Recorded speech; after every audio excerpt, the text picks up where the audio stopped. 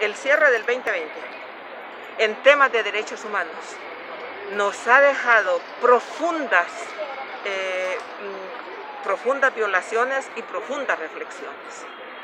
¿Por qué, le, ¿Por qué le digo esto?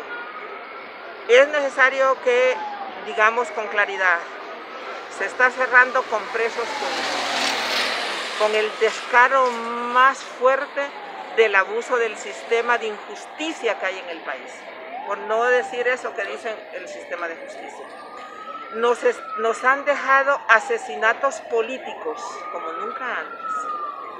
Nos está dejando eh, la persecución, el éxodo de hondureños y hondureñas masivos.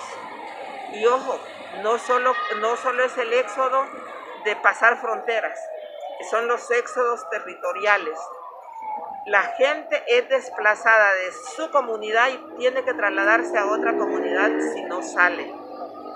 Nos han dejado estigmatizados a la mayoría de los hondureños y hondureños y, hondureñas y además no solo pesa en nosotros el estigma en materia de derechos humanos, sino la criminalización que se ha generado con la población en general, con el campesinado con los pobladores, con los defensores y defensoras, con periodistas, con comunicadores. Este año nos han dejado periodistas muertos de cualquier forma porque usan cualquier estrategia para callar las voces.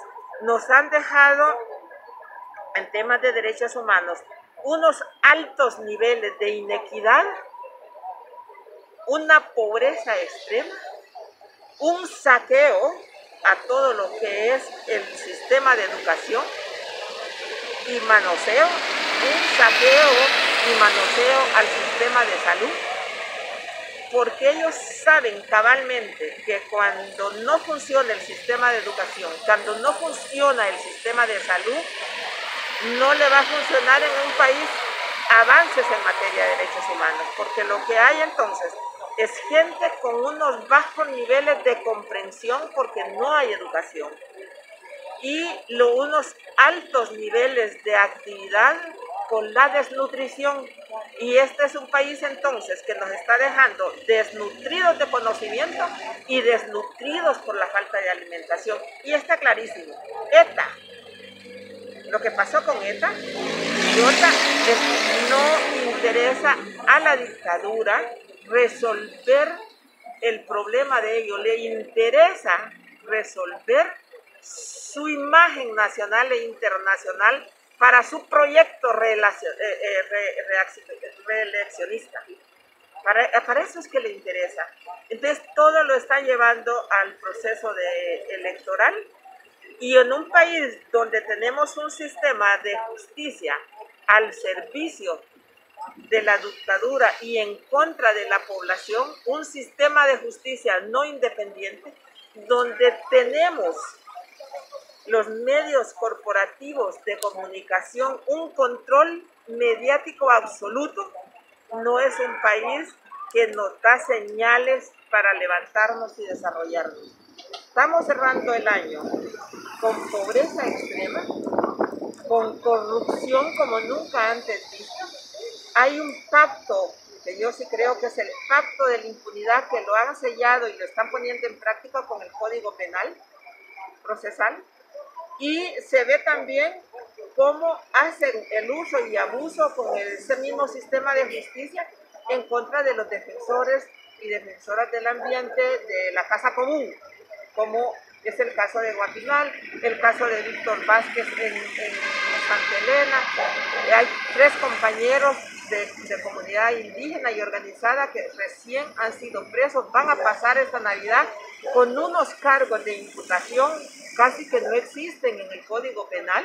Lo tienen eh, con cargos, por ejemplo, acusados de desplazamiento. No existe, pero están presos, ahí, van, ahí están presos.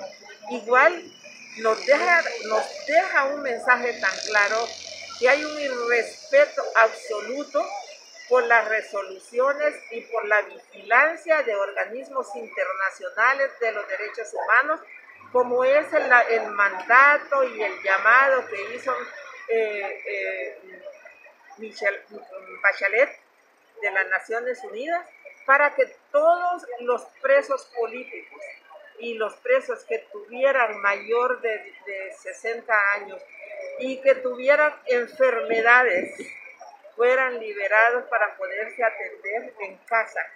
Y el caso de don Jeremías es un caso que amerita atención de su familia, primero por su edad y luego por la enfermedad. Y eso refleja que no les interesa la observancia internacional de la protección de los derechos humanos. Estamos cerrando entonces en materia de derechos humanos en calamidad, con poca eh, esperanza de que la problemática en esa materia se resuelva en corto plazo.